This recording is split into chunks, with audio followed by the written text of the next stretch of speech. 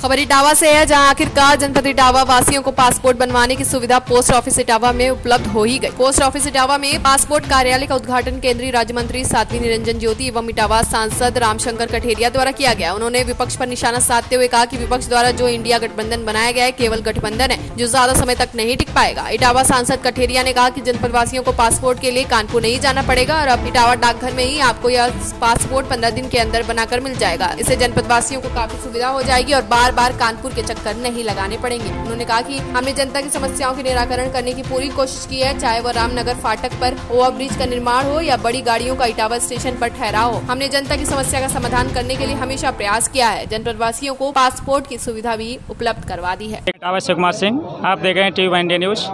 आज यहाँ इटावा में, पोस्ट ऑफ़िस में सांसद, इटावा सांसद कटेरिया द्वारा पासपोर्ट ऑफ़िस का उद्घाटन किया गया जिसमें मुख्य अतिथि के रूप में साध्वी मान साध्वी जी आई थी, पधारी थी। उन्होंने उद्घाटन किया। उन्होंने बताया कि इटावा में अब आप लोगों को पासपोर्ट पंद्रह दिन के अंदर बनकर मिल जाएगा। अभी जो पासपोर्ट कानपुर से बन के आते थे, उसमें बीच में दलालों का भी काफ़ी बड़ा हाथ था और वह दलाली ख़त्म होगी और इटावा वासियों को सुविधा मिलेगी और पंद्रह दिन के अंदर आपका पासपोर्ट बनकर आपको मिल जाएगा। Etawah Shiv Kumar Singh T V India news Etawah का मैं आगमन हुआ है और पासपोर्ट ऑफ़िस का शुभारंभ भी किया गया है।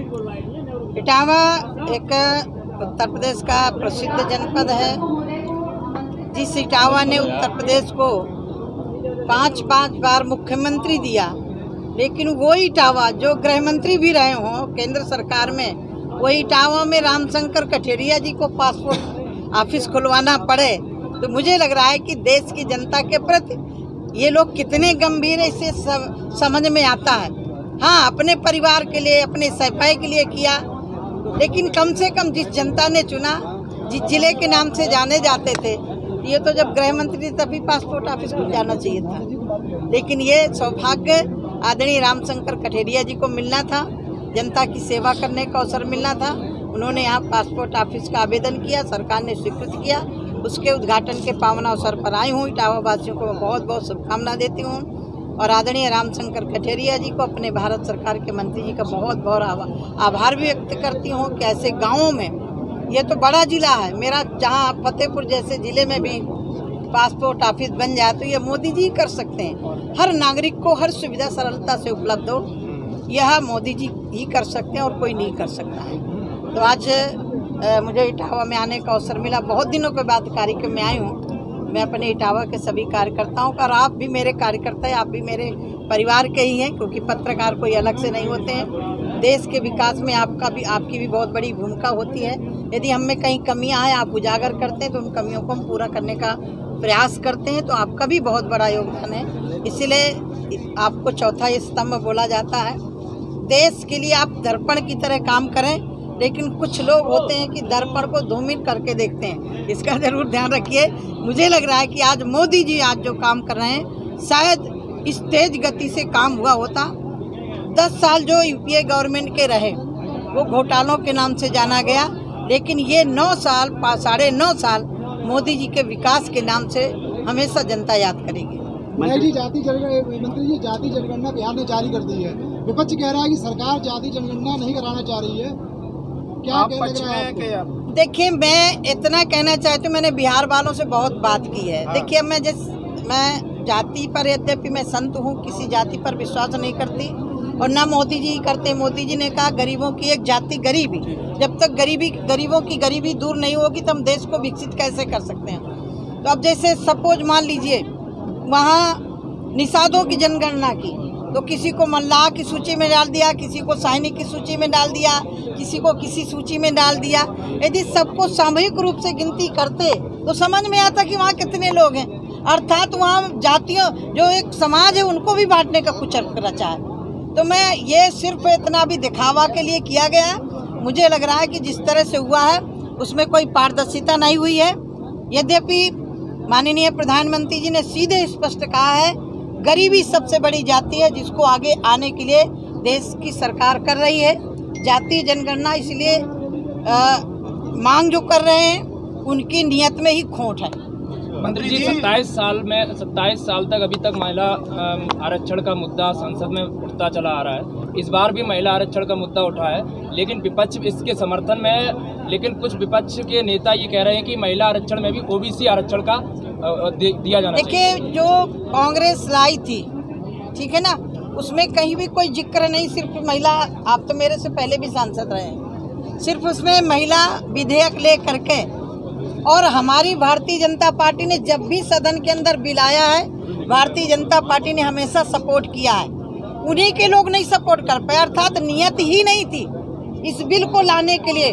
और मुझे उम्मीद है ये महिला बिल जो आया है मुझे मोदी है तो मुमकिन है। जो भी जिस समाज की महिला है हमें विश्वास है क्योंकि मोदी जी वो शख्सियत है कि जहाँ भी उनको कमी दिखाई पड़ती है उसको पूरा करते हैं। और तो मैं भी लगा- एक एक मिनट एक मिनट। महिला बिल के लिए जिस तरह से पार्लियामेंट में पास तो होना ही था लेकिन अब उनको लगा कि ये तो पास कर लेगी मोदी सरकार। तो वोट ही दे देना मजबूरी में। मजबूरी में किया नहीं तो करते नहीं। तो मैं तो मोदी जी को धन्यवाद देती हूँ। वो भी ओबीसी कमीशन की गठन की कब से चर्चा चल रही थी? वो भी मोदी जी ने गठन किया। तो बहुत सारे ऐसे विषय हैं। तो मैं तो इतना मानती हूँ मोदी जी पर मुझे विश्वास है। जो समाज पिछड़ा हुआ दिखाई पड़ेगा उसको ज़रूर आगे उठाने के लिए। अखिलेश यादव कह रहे हैं कि अगर जो कोई विपक्ष अगर आवाज़ उठाता है विरोध करता है उसे जेल भेज दी। चाहे पत्रकार हो चाहे संजय सिंह हो। मैं उस पर जवाब बाद में दूँगी।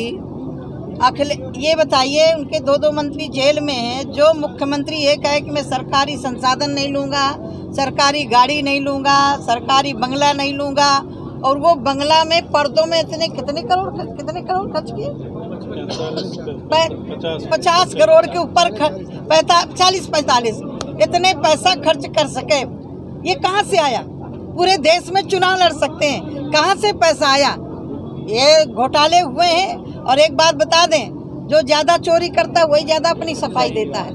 मैं इतने अनुरोध करना चाहती हूँ चाहे वो सपा हो चाहे कोई पार्टी हो ये रोना बंद करे ओबीसी हो चाहे महिलाओं का ओबीसी के नाम से सफ़ाई पूरा राज्य करता रहा है और यादव समाज भी अन्य जगहों का वो भी सम्मान जो मिलना चाहिए नहीं मिलता रहा है उनको परिवार ही दिखाई पड़ रहा है। अखिलेश को तो कहने की आवश्यकता नहीं है। यदि संवैधानिक पदों में लेकर के प्रधान से, सरपंच से, मुख्यमंत्री तक, सांसद से लेकर के, यही आपकी मैनपुरी है।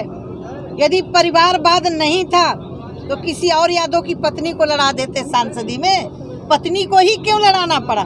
यदि परिवार से नहीं उठे हैं तो उनके निगाह में कोई और परिवार नहीं है, न कोई जाति है।